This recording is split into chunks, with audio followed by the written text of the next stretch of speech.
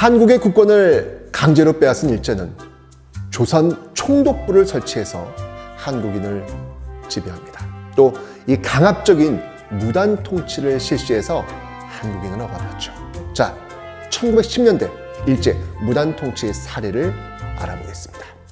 일제는요, 군대 안에 경찰인 헌병에게 어, 경찰 업무를 맡기는 헌병 경찰제를 시행하면서 한국인의 일상생활을 감시합니다. 헌병 경찰은요 재판 없이 처벌할 권한도 갖고 있었고요. 이를 이용해서 한국인에게 일, 네, 태형 이런 태형 등의 형벌을 가하기도 했습니다. 또 이 관리와 교사들, 선생님들한테 제복을 입히고 칼을 뭐 무서워. 이 공포 분위기를 조성합니다.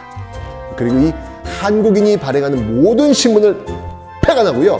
민족의식을 일깨우는 역사서 잡지 출판 금지시킵니다. 그리고 일제는요. 토지 소유자를 확인한다라는 명분으로 토지 조사 사업을 실시했죠.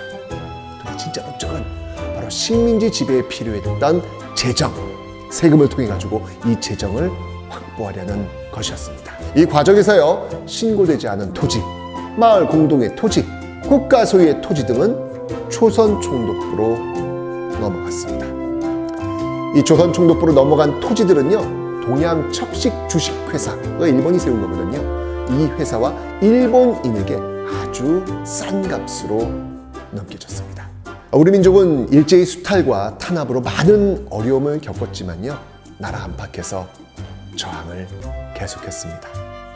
아, 국내에서는요 항일 비밀 결사가 조직되었고요 국외에서는 독립운동 기지가 건설되었습니다.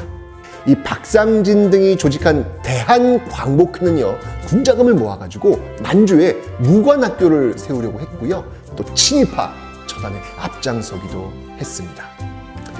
어, 또이 지리적으로 가까운 만주와 연해주에는요 독립운동 기지가 활발하게 건설되었는데요. 아, 신민회 회원이었던 이회영 등은요 만주 삼원부에 신흥 무관학교에 출발이 되었던 신흥 강습소를 설립해서 독립군을 양성했고요. 연해주 블라디보스토크에서는요 자치단체인 권업회가 조직돼서 동포사회를 이끌기도 했습니다. 또 이 권업회는 대한 광복군 정부를 조직하는데 큰 도움을 주기도 했습니다.